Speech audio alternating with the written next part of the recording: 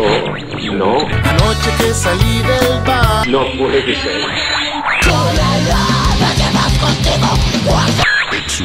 Exum, en este programa. Me han engañado.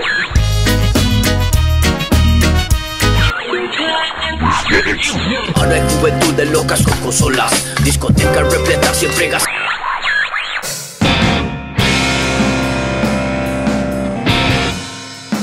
Cielo.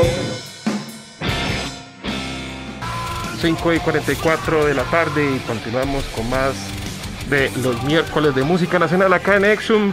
Y ya nos acompañan los muchachos de Outside the Circle, quienes eh, pues vienen a hablarnos un montón de cosas. Ojalá nos alcance el tiempo, ojalá tuviéramos dos horas de programa para poderlo hacer. Pero ni modo, las presas y un montón de inconvenientes, como el brete. El brete es un inconveniente sobre todo. Bueno, no, sí, a veces eso ya es un inconveniente para hacer música, eso es cierto. Muchachos, siempre es un gusto tenerlos aquí en cabina.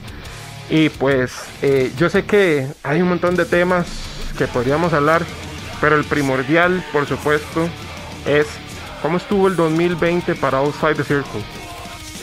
Eso, buena nota, ma, por invitarnos, como siempre. Muy contentos de estar por acá.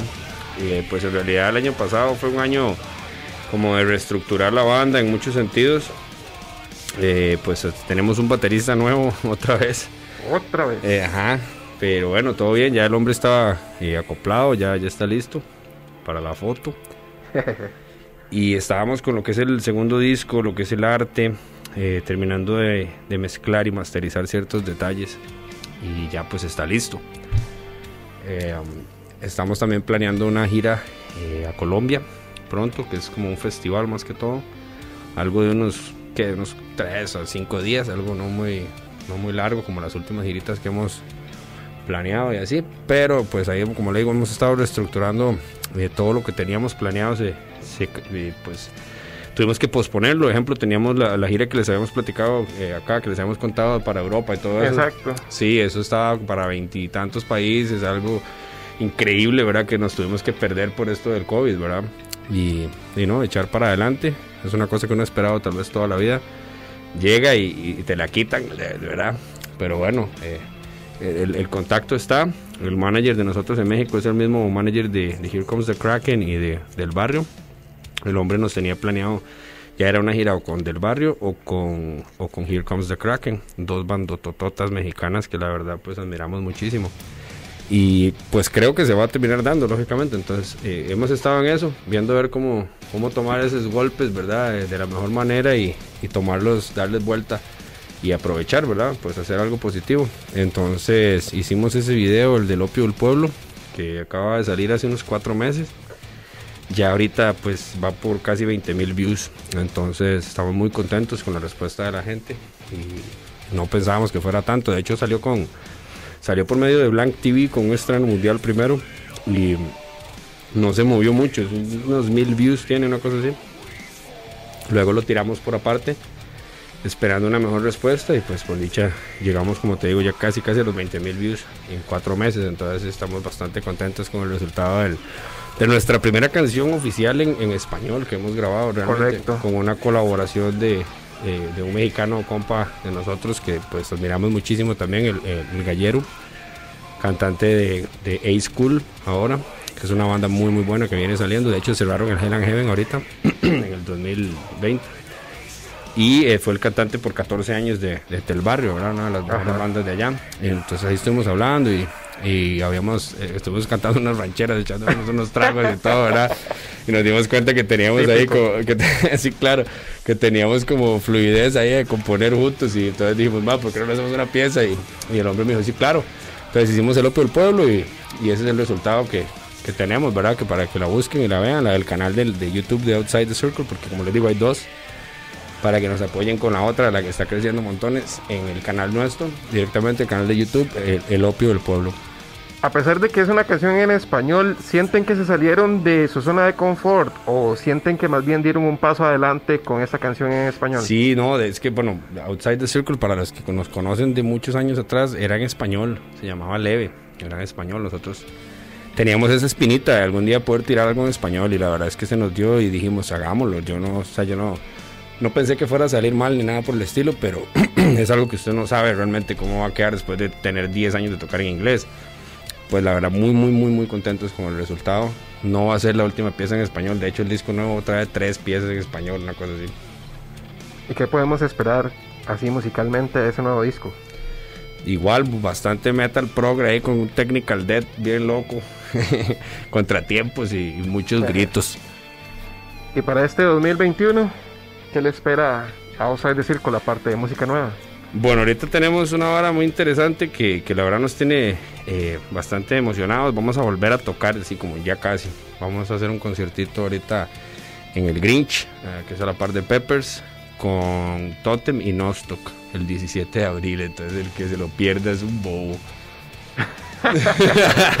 Contemos detalles de ese concierto, de hecho, aprovechemos el espacio. Sí, bueno, el flyer está por salir más. Se suponía que ya, iba a estar y no, no ha salido, pero eh, para que lo tengan ahí en mente, es el 17 de abril a las 6 pm. Cae sábado y van a estar las tres bandas tocando alrededor de una hora por banda. Entonces, y como les digo, el que se lo pierda está, está bueno, ¿verdad? Está solo, sí, la payasada. Y el futuro inmediato, ¿qué, qué más podemos esperar de Outside the Circle? Mae, el segundo disco, por cuestiones también de la pandemia, de todo este desmadre, se nos atrasó un montón, mae, incluso, ¿verdad? La producción y todo eso.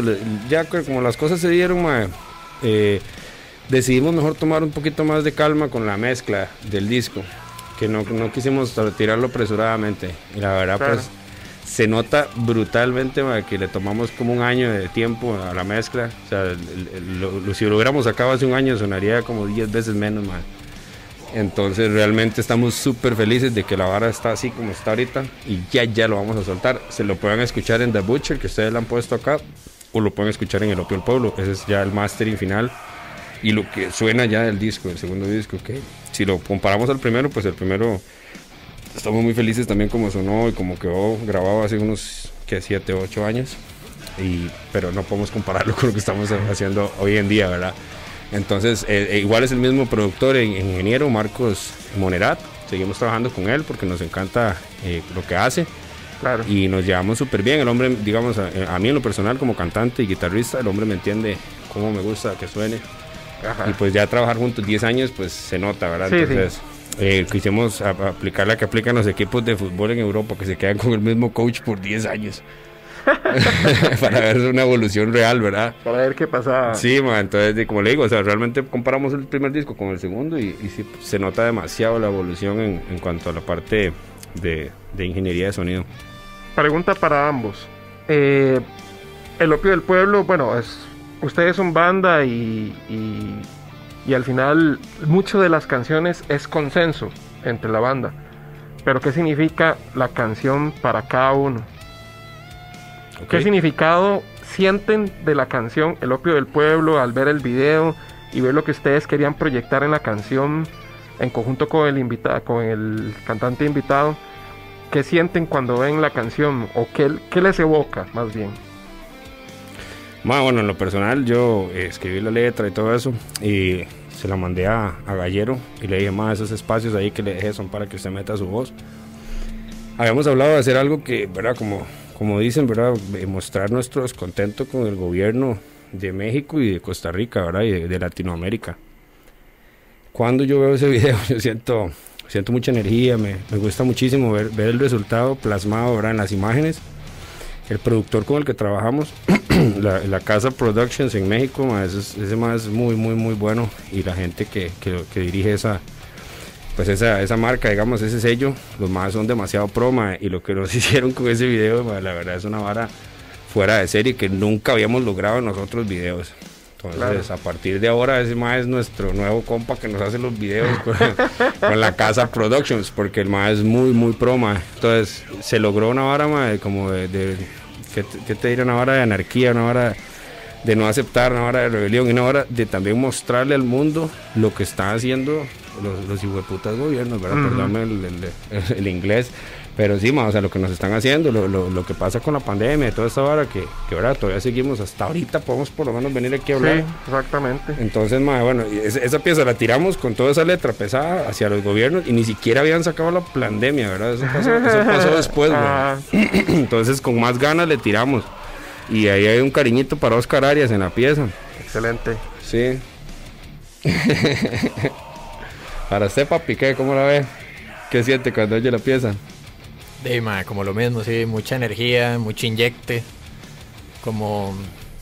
di, se, se dicen las varas como, como tienen que ser. Sí, exacto, no, no se anda con censura el videito ni la, ni la, ni la letra, ma. realmente es algo que todos, todos sentimos weón, como pueblo. Entonces se puede identificar ahí como, como nos, nos, nos alimentan de un montón de mentiras, ¿no? Y un montón de cosas que, que pues para, de ahí tiene que ser uno un bruto ma, para no entender o no. Claro. Redes sociales de Outside the Circle, ¿a dónde pueden escuchar su música y dónde pueden seguirlos? Eh, Facebook como Outside the Circle, Instagram Outside the Circle Band y eh, bueno en Spotify igual Outside the Circle y en YouTube eh, con el mismo nombre Outside the Circle. Ma, perdón que se me olvidó una noticiota que no dijimos, weón. Estamos oficialmente eh, ya listos para abrirle a Soen. Ah, sí, wow, qué bueno. Buenísimo, buenísimo. Sí, ya, buenísimo. ya estuvo anunciado en la página de, de LPG, mae, de que la banda que, que va a abrir al final después de tanto desmadre es Outside the Circle. Vamos a ver a Soen, mae, muy Mae, contentos. buenísimo. Y también contarles que tenemos un patrocinio mae, de Suecia, mae, de una gente Erlund, que son unos micrófonos, mae, una, una chulada, güey. una- una chus- claro, son unos micrófonos condensados, mae, una hora ahí especial que es como un micrófono, una versión de tour, mae, para, para andar como si usted tuviera el estudio en su- ahí, ¿verdad? En, Claro. en- en vivo. Entonces nos mandaron unos, unos Erlund, ¿cómo se llamaba la?